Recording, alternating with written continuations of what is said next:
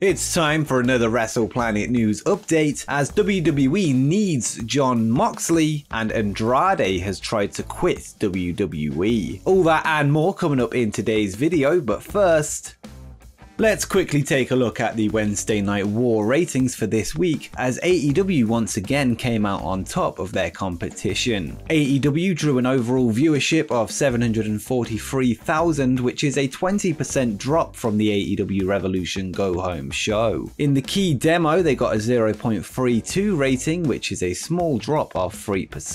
NXT averaged 691,000 viewers which is basically identical to last week although they did drop 10% in the key demo to a 0.18. This sees the scores now at 70 to 1 in the key demo in AEW's favour and 60 to 9 in the overalls. And we have an update later on in the video regarding NXT's move to Tuesdays which could end this war, but first let's take a look at our next story.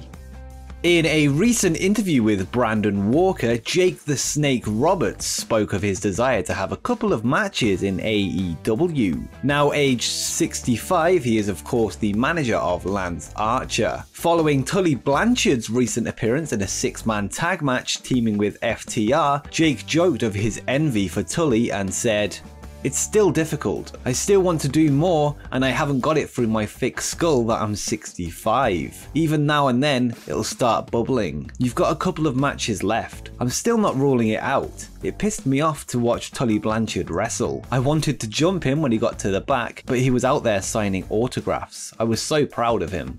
Roberts did in fact get physical at AEW Revolution, hitting Ethan Page with a short-armed clothesline before being super kicked by Penta. It will be interesting to see if Roberts does in fact have another match in him, but I do think this is unlikely at this point, although who knows.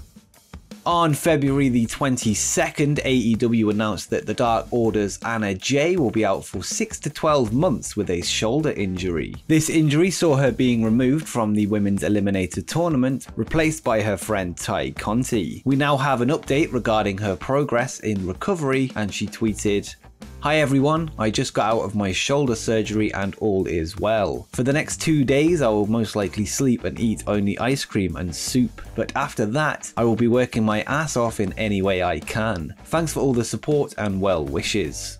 We still have no scheduled return date, but it's good to see that her shoulder surgery went as planned, and let's all hope to see Anna Jay back in the ring as soon as possible.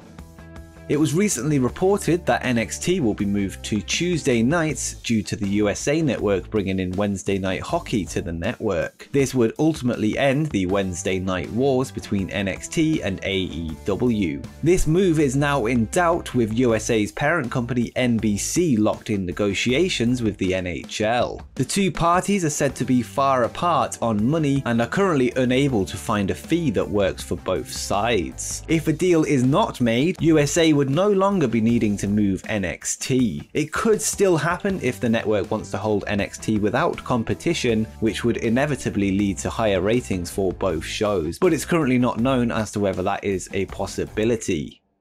For the first time since AEW Revolution, somebody from within the company has addressed the Dud explosion as a mistake on the company's part. Kenny Omega released a statement to the Wrestling Observer and said, yeah, it was really deflating to do so much preparation, test the explosions, have them be impressive in rehearsals, and then have it be something that was so much different to what was promised. It made me appreciate everyone who worked hard and did their part even more though. But like you said, we really wanted to have a good one, and we added real barbed wire to help with the feeling of danger, so we really risked a lot. Again, I loved the match, glad we did it, sucks about the finale.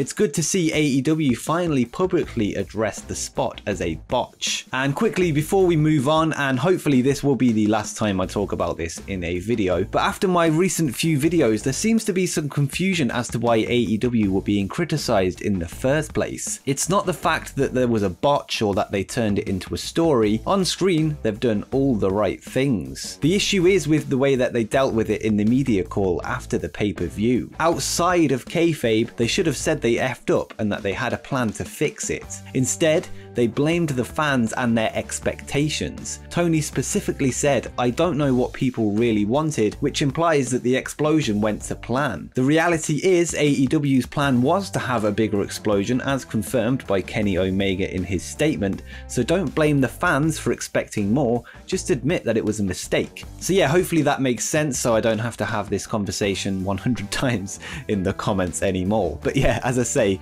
let's move on from this and get to our next story story.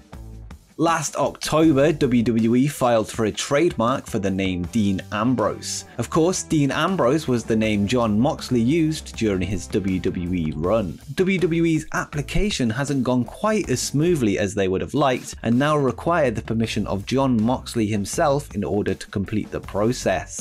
And before we continue, if you're enjoying the video, make sure you drop a like down below as it helps me out a lot. And why not subscribe as we head towards 10,000 subscribers. But let's get back to the video. WWE will require written consent. WWE did previously hold the trademark, but it was cancelled in August of 2020. They had plenty of time to renew it, but decided not to. They have now decided to apply for it again, which required a new application, which has caused all sorts of issues. It's not known if the former Dean Ambrose will give WWE this written permission, especially considering how critical he was of the company following his departure in 2019.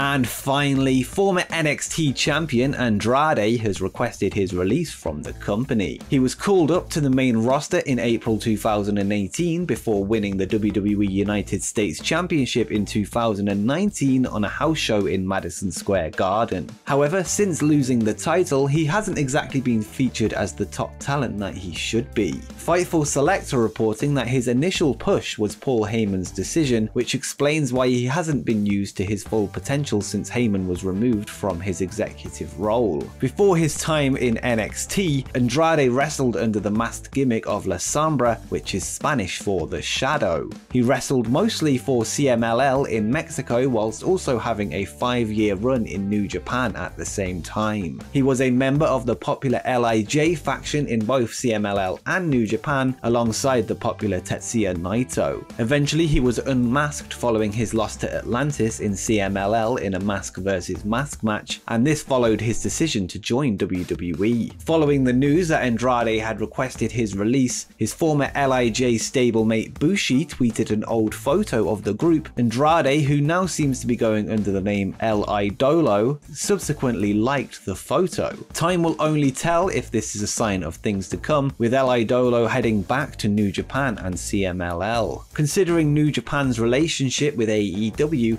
I'd absolutely love love to see Andrade show up on Dynamite. Although AEW have recently received some criticism for their signing of former WWE talent, I think Andrade has the potential to be a top, top main eventer in both companies. He's only 31 years old and hasn't even reached his peak, and has everything you need to be a star. As of this writing, Andrade's request has reportedly been denied, which is obviously expected, and it seems he may have to wait out his contract in order to get his wish. There is of course a chance that he could be moved back to NXT in order to give him something to do and potentially convince him to stay with the company. But with that said, if he did leave, would you like to see Andrade head to AEW? Let me know in the comments down below.